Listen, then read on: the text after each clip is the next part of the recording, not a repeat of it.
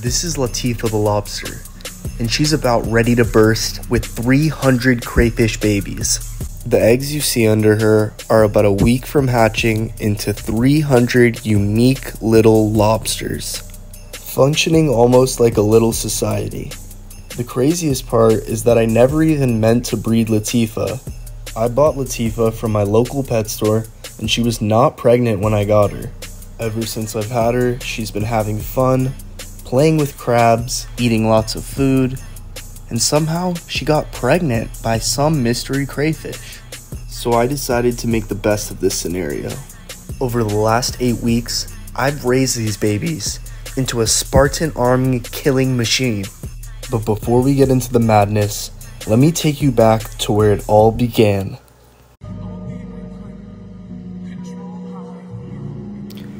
Today I will take you on Latifa's journey, a journey about love. If Latifa is so pregnant, well, she clearly had sex with someone, right? So who's the father? And goddamn, he has some good nut to make this many babies on Jesus. So who is the father? Well, Latifa was last seen with these two men. So there's this guy who got beat by the mantis shrimp. And then there's this handsome orange guy. He lived with Latifa. And wait, that's her in the back of this video. But could he really be the father? This crayfish has been through so much. Malcolm fed him to the mantis shrimp. He survived. Feel that? Ooh. Ah! He survived. He even met my dog. Sonny, get him. Is it really possible? Has he been the father all along? Well, tonight we find out on Jerry Springer. The results are in. In the case of them fat sack of eggs under that lobster's belly, you are the father. Nah, Jerry, I ain't the father, man. I don't look anything like them eggs, man. Them eggs is black. I've heard it a million times. Save it for Mr. Krabs, buddy.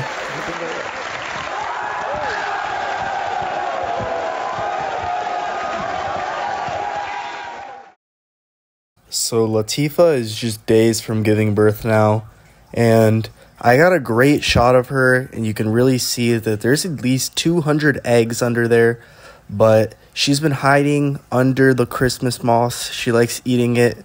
She likes eating brine shrimp out of it, and she's gonna stay under there for the next couple of days, and I'll update you when she gives birth.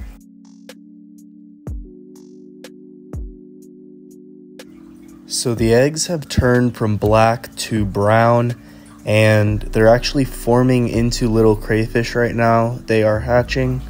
And if you look under her now, these are all the little baby crayfish. They have just hatched and they're still holding on to their mama right now, but in the next couple days, they're gonna detach.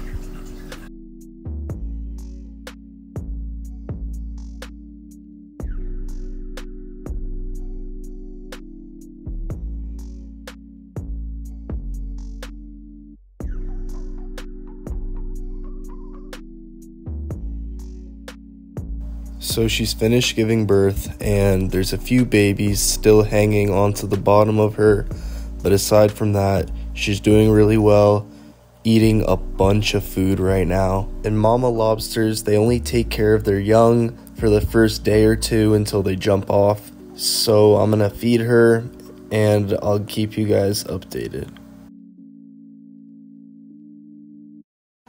So the crayfish are now fully on their own and I took Latifa out and put her in her own tank because at this point she can eat her own babies and we don't want any cannibalism going on. These babies, they love eating brine shrimp and they're fully functional on their own. They do not need a mother at this point. So I'm netting a few of them out and this is what they look like at this point. They're very small. They're honestly pretty cute. And I'm going to be adding them to this mini tank that I have set up.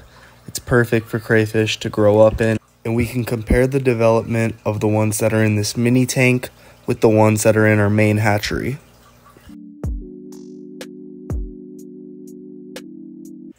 Week two, we can see some progress on all of the babies, It looks like they have gone through their first molt because they're getting a little bit bigger.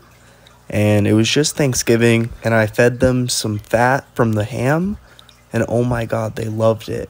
Everyone in the tank went crazy for this ham fat, and I guess it makes sense why people use fatty items like KFC and other nasty chicken to catch crayfish in traps. Because boy, do they like this stuff. Taking a look at our mini tank, these boys look really good. I think they might be on their second molt as opposed to our big tank where everyone seems to be on their first molt. Look at this guy in my hand. He he looks dope. And it may have something to do with there only being 5 of them in this tank. It's a 2 gallon, but they are tiny. Little update on Kush the mantis shrimp he's doing really well. We actually fed him Latifah's husband, but you know, he went and decided to kill Mr. Shoe, our beloved horseshoe crab, instead, and I was really bummed about that. But what can you do when you have a horseshoe crab living under the sand in a mantis shrimp tank? Just let him live, let him chill. You're literally insane.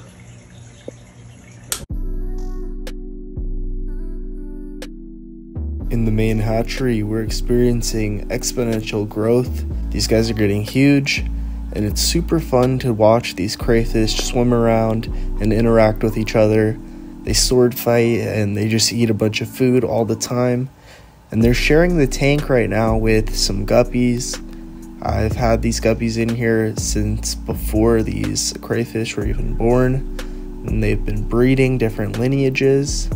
I'm feeding them bloodworms, and the crayfish are fighting over it like Lady and the Tramp. They function almost like a little society.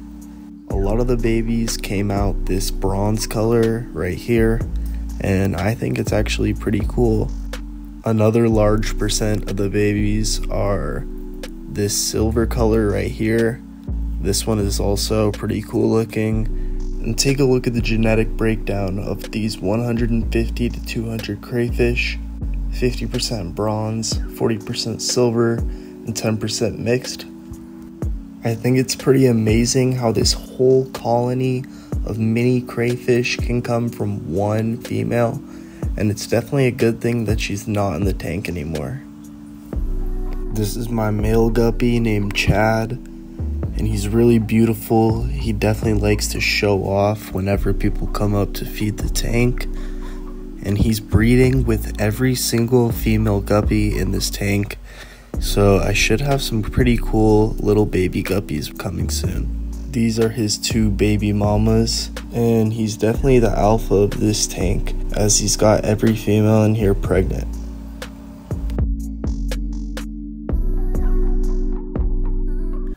So we're on the fourth week, and our crayfish are doing really well.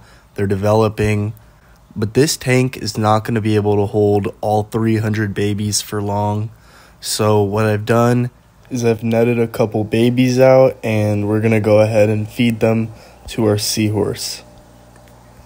Oh, Jesus, guys. Jesus, guys. He's literally eating that crayfish. Ooh. My seahorse usually eats ghost shrimp and he loves them, so I figured that these crayfish would probably be a perfect snack for him. And I'm only going to feed him a couple of them because I really do love these crayfish.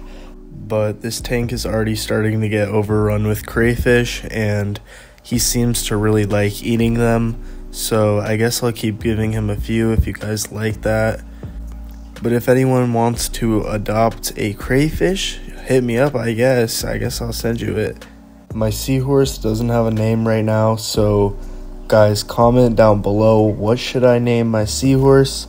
I will 100% choose someone from the comment section. You guys just got to give me some good names here. And thank you to everyone that comments on all my videos and shows love.